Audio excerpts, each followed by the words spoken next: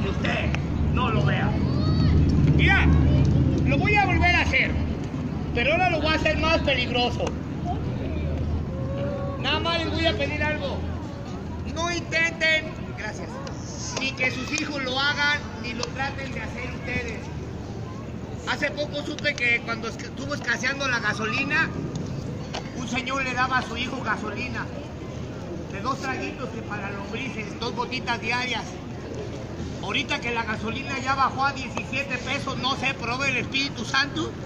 Dicen que ayer ya le retacó en vez de dos gotitas que le retacó medio litro. No, dicen que ayer en la noche el burro se echó litro y medio de gasolina. Que despertó en la mañana y que el burro andaba así.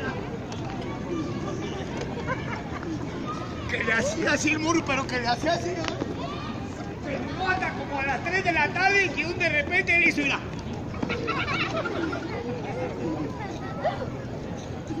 Mamá, no me cansé.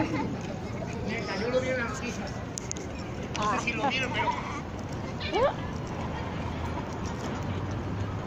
¿Y de dónde salió?